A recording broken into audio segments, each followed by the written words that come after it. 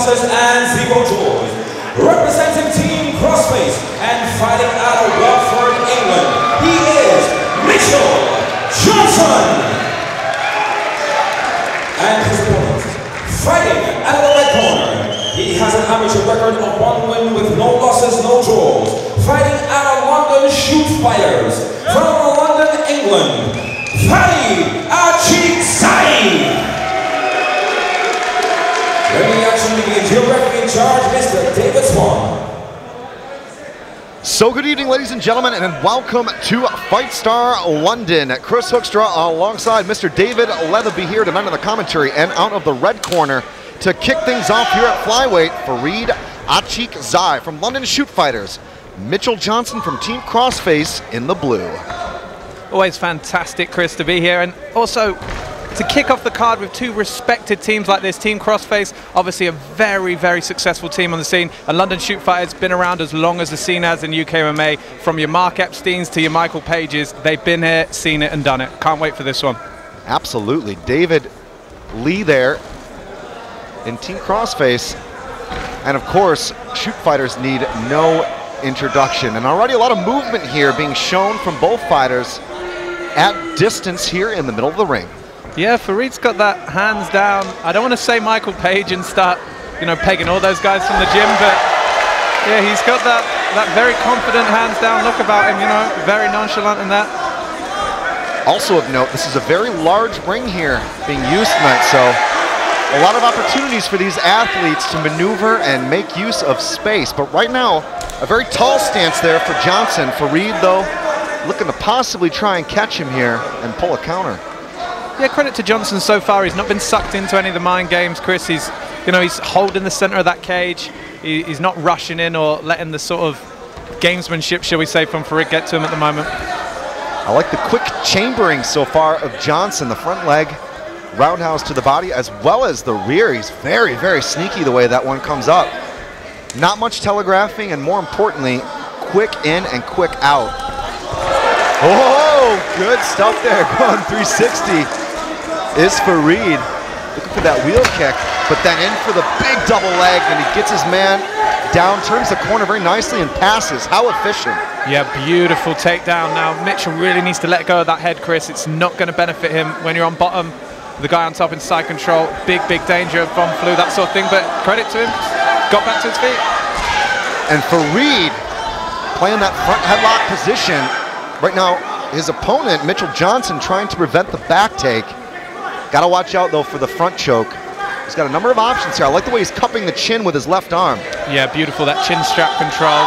Such a staple in wrestling gyms like London Shoot Fighters. He's going to be a very difficult individual to get off your neck, I think, at this point. It's a switch. And some nice back and forth play from these two to kick it off here tonight at Fight Star London.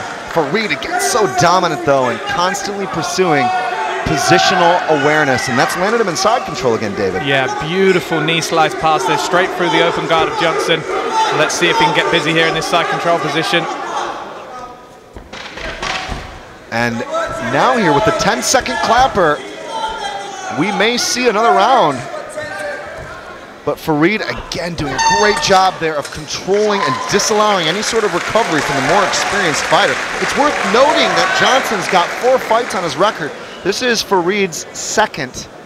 And already now we've had a taste of what these two have brought to the table. David, your assessment? Yeah, I think at this amateur level, guys often find it difficult to find footage on the other guy and, and, wonder what they're about and their tactics going into this fight. I think Farid now knows his pathway to win this fight. He's got two great takedowns and he's had some good top control, so I think he's going to be looking for that in the latter rounds here. And possibly a reach advantage from Johnson being shown with the kicking game predominantly.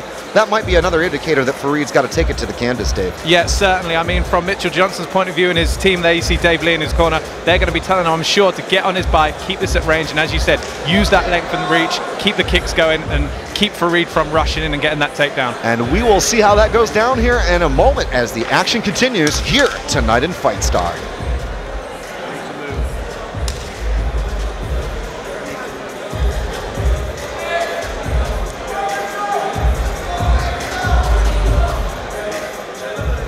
Round two of a scheduled three. Three more minutes on the clock here tonight.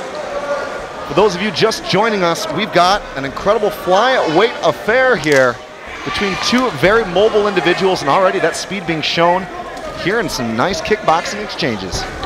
Yeah, it'd be interesting just looking at the frame of Johnson. I'd, I'd, like to know his height because he does look very, very rangy for this uh, for this weight division. But saying that, those long legs, easy to grab, and Farid back on top now, and he's got a lot of time to work in this round, Chris. Farid absolutely bulldogging his way here into side control. I like that deep underhook he's got. And more importantly, the head pressure here right now. He's doing a great job of pinning not only the shoulders, but also the hips as now he's got time to work here inside control. Yeah, positional control in these three-minute amateur rounds is so, so important. It's, it's so difficult to win a round once you've given away this kind of position, and I'm sure Farid's going to be content now just to ride the clock out, get a bit of control in the eyes of the judges, and then just wait before moving on, maybe to a submission attempt or trying to mount. And you can see him using his head pressure there to try and possibly work that left arm out. I think Johnson's aware of that and is going to try to scramble hard here, but you notice the way that Farid always makes sure he controls the shoulders and the hips, and more importantly, uses his weight to make that extra leverage count. Excellent front headlock control here from Farid again. You can see him with a couple of choke options. He may be going for that D'Arce, Dave. Yeah, that looks quite deep. Just needs to reach up to the shoulder now, Chris. And looking to get the squeeze on here is Farid Achikzai Farid, though, having a little bit of a difficult time of getting that choke in deep enough, and he aborts. Wow, I'm surprised he gave that up, to be honest. It was quite deep. I know the hand of Mitchell around the back was going to stop him, but it doesn't stop you forever. That saying, though, still top position for Farid, now in the half guard of Johnson on top. And that was wise decision-making, really, on his uh, part there. Better to abort a failed submission and jump ship rather than lose control of your man. And right now, he's sitting there in half looking to possibly pry his right leg out. David Swan says, let's go. And the wrestler's roll works out for Mitchell Johnson. Johnson on top Farid with a full guard. Yeah, credit to Johnson. You know, he, he never gave up. He hasn't been disheartened down there.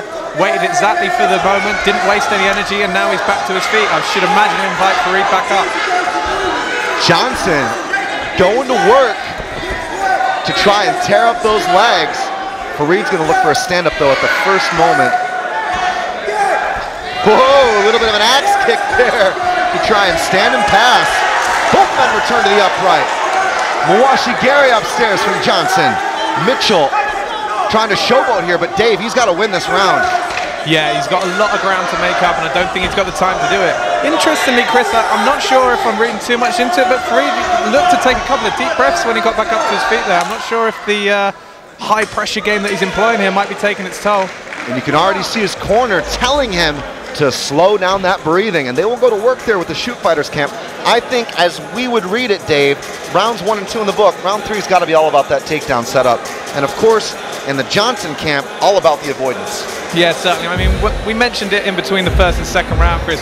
Farid's got that pathway to win. He knows that he can take Johnson down, and now he knows he can control him for, you know, the good part of a round. So what we might see is Mitchell Johnson come out and, you know, go for broke, and it could be an exciting third round here. And we will see how it all goes down, folks. Don't go anywhere. Round three here in Fight Star.